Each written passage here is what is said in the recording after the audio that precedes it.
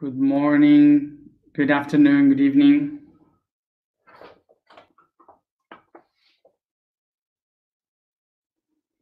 I was doing this, connecting to the astrological things that we were speaking about today. Aquarius. this is what we do in Aquarius time. Detachment. so I will explain something that is related to uh, to the constellation of Cygnus, which is the topic for today. Okay.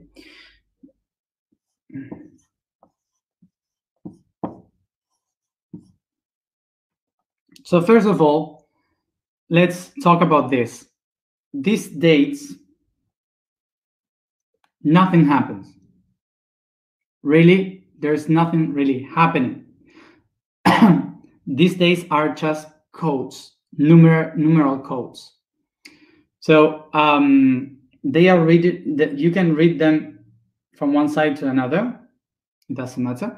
So the the reason why they are codes is because people can see it and recognize that something special is happening, and the um, um, the the reason why this is um, so important is because all the people can see and is connected to this same code. Okay, so it's not about uh, what is happening in the stars is about what is happening in our consciousness. That is why. Um, so this number is a sum of eight to to to to it's eight. So eight is the number of the torus, which represents the time, the network of time. So that's why the portal of time is this day, was this day, exactly one year ago. And then this day will repeat again. And that day will repeat um, the um, the will repeat again in uh, February 2022. In February 2022, we will have again all these numbers. And why this date and not in 2020? because this makes 12. All these numbers makes 12, which is the space, the dodecahedron. Mm? So it's the structure of the space. Mm?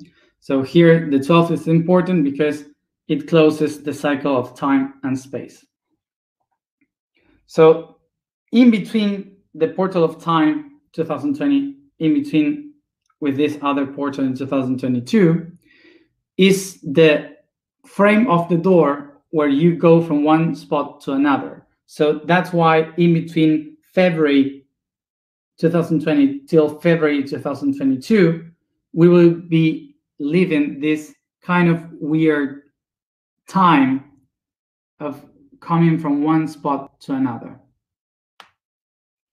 So this is why one month after 2020, the COVID and the quarantine started and all those chaotic things. And don't expect it to end until at least the beginning of 2022. So, yeah. So anyway, um, uh, these years for those who are working with the consciousness of the planet um, these years will be mm, very uh, will be the key for this transition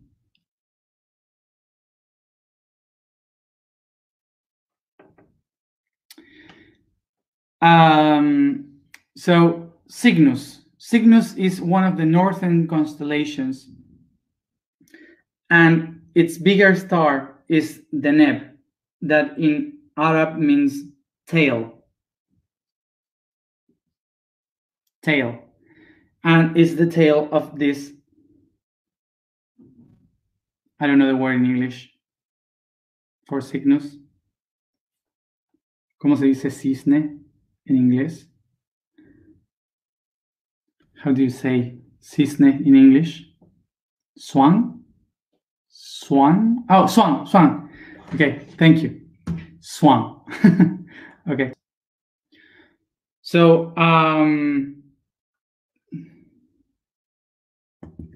uh, Deneb, the tail, is one of the northern stars uh, of the of the um, like Polaris that uh, was the northern star approximately around 15 to 16,000 years ago. And it's also known as the cross of the north. So, um, so in the south, we have the Southern Cross that we, we call it the Southern Cross, but actually its name is just crux, that means cross in Latin. Um, so crux is only seen in the southern hemisphere, and Cygnus, the northern cross, is seen only in the northern hemisphere. So even if you look for it, if you are in the southern hemisphere, you will never see this one. If you are in the northern hemisphere, you will never see this one. I have the Earth here, and Cygnus, the Swan, and the Crux in the south. They represent really um, an important thing here for Earth.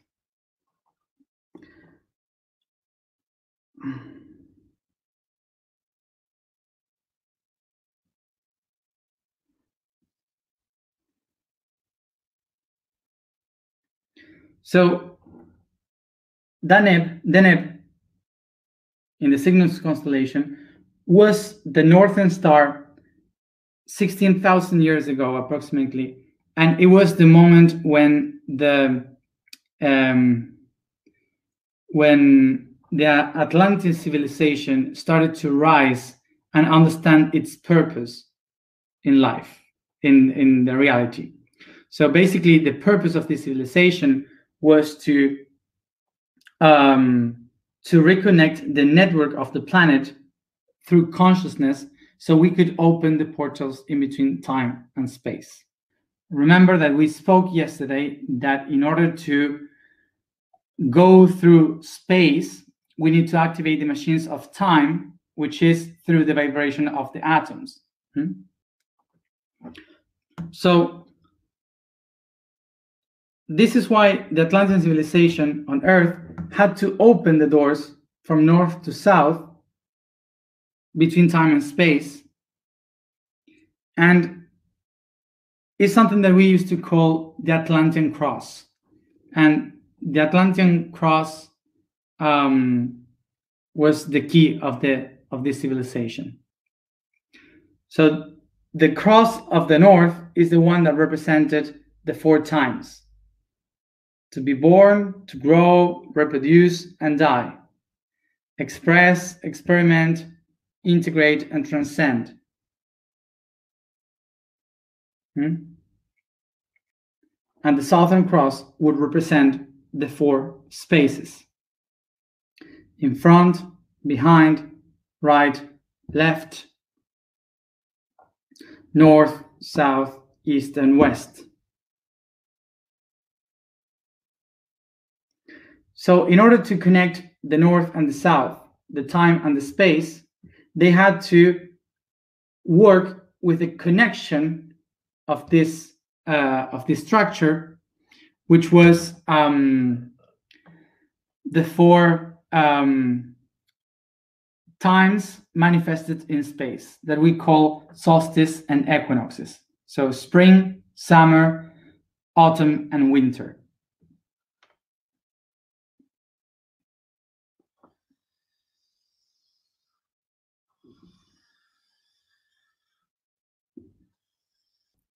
So, kind of like this in a very horrible way.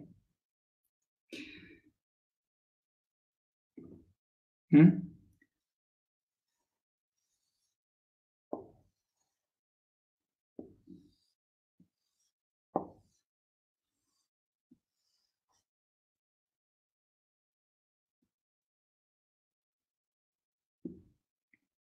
hmm? So now we can see that we have the northern cross and the southern cross. And in the center, we find the earth. And this earth will be connected and held by spring, autumn, summer, and winter. Hmm? So what we today call the Atlantean cross is really a cube. So the cube, the cube can also be connected with an inner cube connected to every one of the dots. A structure that we call tesseract.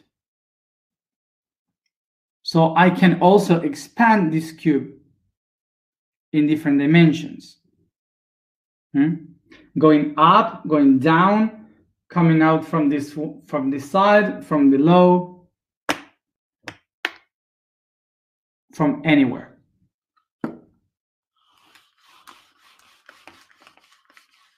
So another way to connect and manifest this structure of the Protiktan is by taking this cube to each one of the sides, expressing different dimensions. Up and down, yeah, on the back, below,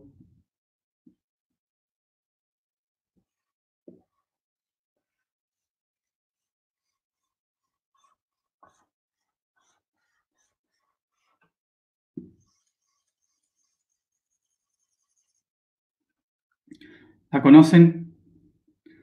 So it was so difficult to graphic to make a graphic of this in the past in three dimensions that it was easier for the people to make this drawing. We call this chacana in South America. But this is not only from South America. This is from everywhere in in North America, in Africa, in Middle East, in Europe, Asia, is a pattern known by many. It's just that sometimes we just take this. Hmm?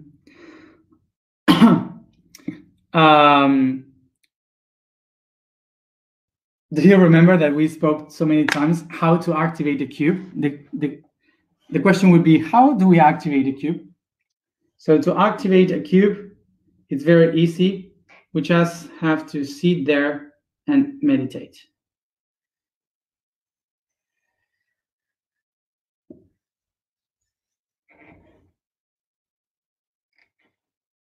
So the reason why we sit like this as humans to meditate is because this person is inside the structure of the tetrahedron. So, um, so the um, the first one will be the north in positive, and we have the base of Trinity, vibration, energy, and matter. Vibration, energy, and matter.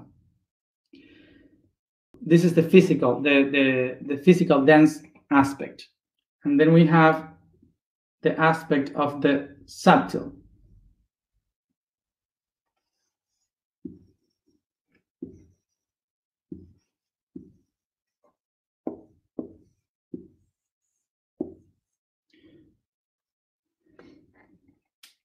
So we will have the southern negative and above the trinity that we will call love, wisdom, and will. Love, wisdom, and will. This is the structure that then we will know as the Star of David.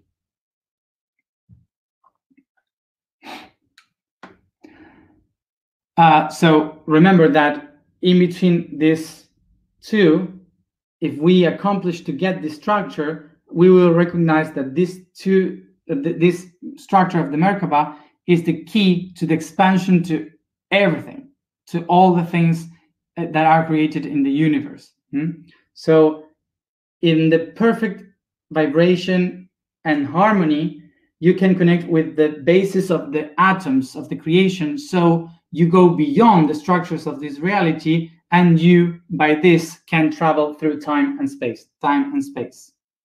Hmm? Okay. And here's where we find the cube again. Vamos otro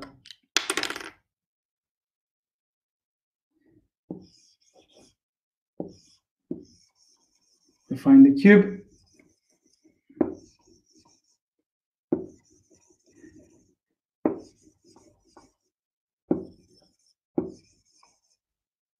Hmm?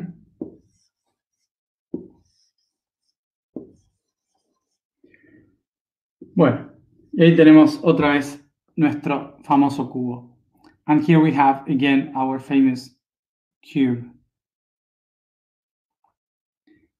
So what the Atlanteans were trying to do by connecting all this northern cross and the southern cross in the center, activating this Merkaba, was trying to make the whole planet Earth into a spaceship that travels not through places but through dimensions.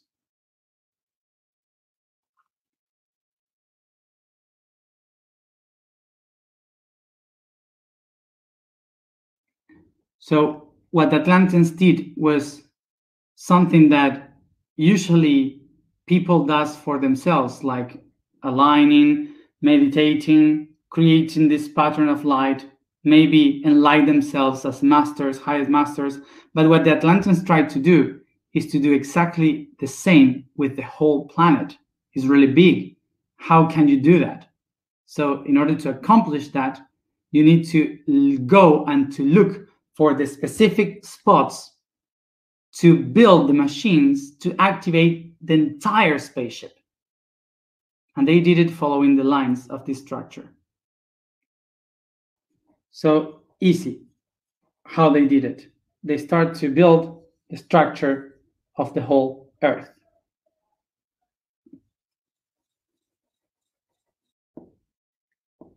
So how they did it? They open the structure. How do you open the structure? In the same way as for sure you have heard the sentence think out of the box. Think out of the box. So they expanded the box.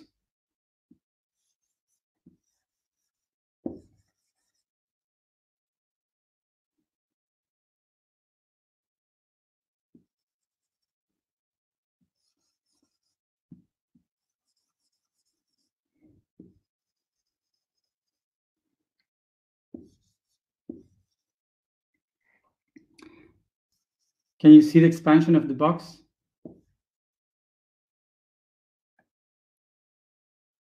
Is what you call dodecahedron. So these are each one of the of the doors of the box opening, breathing, think out of the box.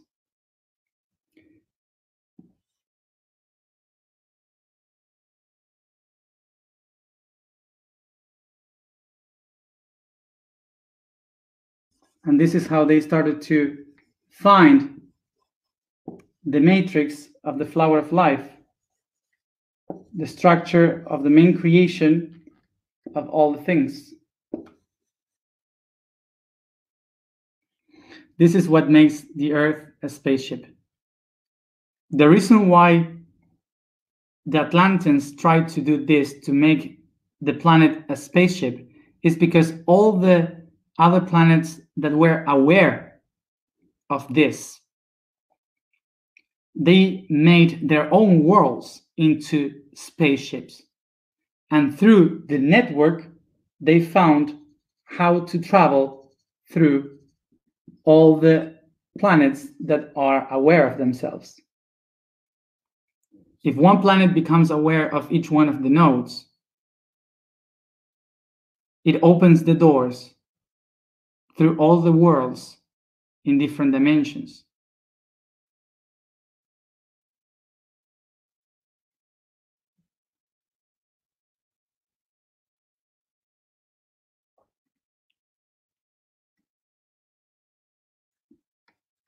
And they just tried to do this guided by Cygnus, and the ones in the south guided by Crux.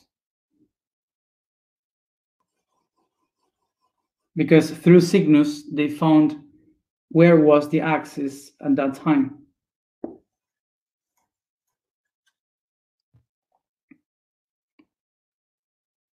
So, what is So the core of all this structure is what we call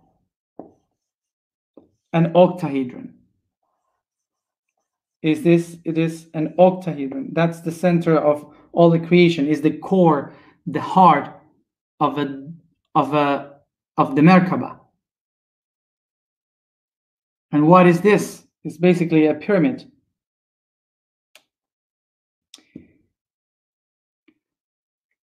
So each pyramid is a key for the machine. Each pyramid is the heart that must beat in order to activate all this. So the pyramids are like the dun, dun, dun, dun, dun, dun, dun, for the entire machine. Basically, because it's the heart of the Merkaba.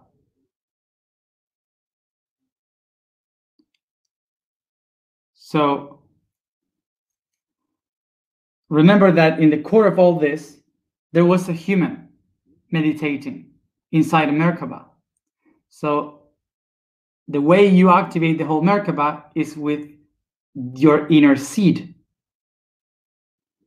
the inner octahedron. And that octahedron is in between the, the heart and the plexus.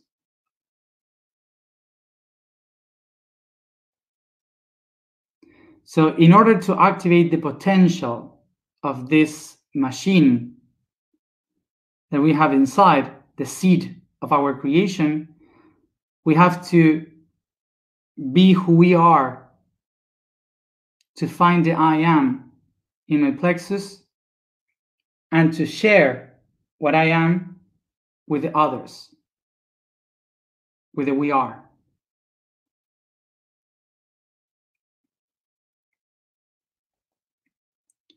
So the way we activate all this machine is by tum, tum, tum, tum, the heartbeat of the heart, the heartbeat. So the, if the heartbeat is out of the harmony, so you get lost and this is not activated. But if you find the balance and coherence, this is activated. And what is what I am activating here?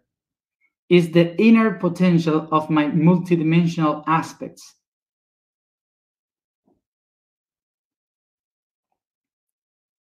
My divine in the sky activated here in the earth.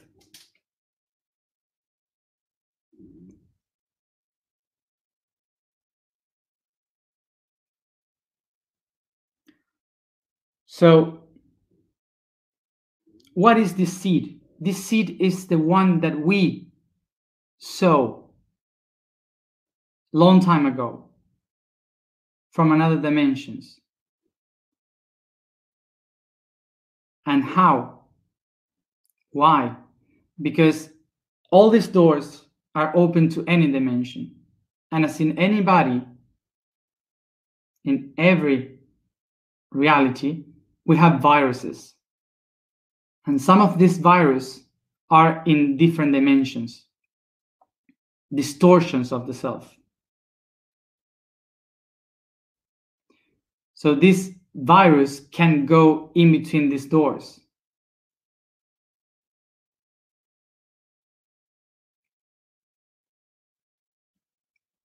And the only way in which you can really heal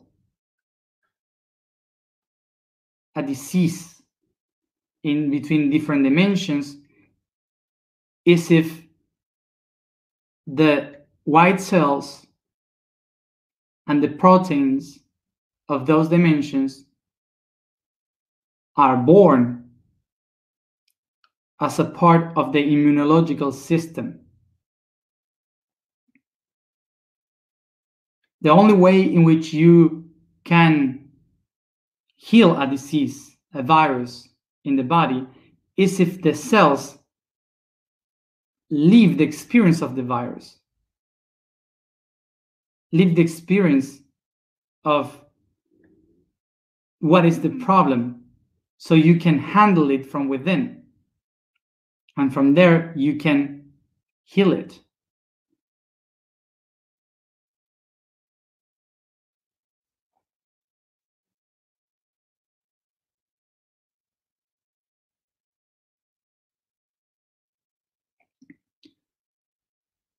So, to understand this, it's easier to compare with our body when you have a disease, a virus, for example, or or um, a virus or uh, a cancer, for example. So one cell of the body, um, one cell of the body starts to distort it itself and when it distorted itself, it starts to use the energy of the body to survive. So it starts to kill other cells. And imagine that these cells of the cancer is in the lungs. Suddenly the lungs starts to, it, it makes metastasis and it goes to everywhere. So it changes the organs. It goes to the stomach, it goes to the heart. That's changing from one dimension to another change from one dimension to another, from one organ to another. It's exactly the same. So when this cells starts to make metastases, the immunological system starts to act, which is to try to find balance. And balance is what the confederation is doing. It's exactly the same as the immunological system. What it's trying to do?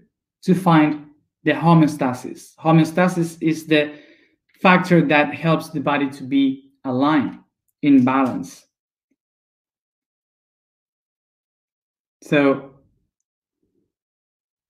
the confederation is basically like that system. But how can you heal a problem that is from within, from the same body? You have to become those cells to understand to understand where is the mistake. So they seed themselves in these worlds where there is the disease, so they could heal it from within. And it takes a lot of time to understand it from within. So that's why we seed ourselves from the alien worlds to live a human experience. So there are aliens that are the disease and are humans that are the disease. But that makes them bad people or good people? No. They're just distorted or balanced. So um, then um, look into the um, in, into the blog because I wrote today about these aliens, about the White Brotherhood, about all of it.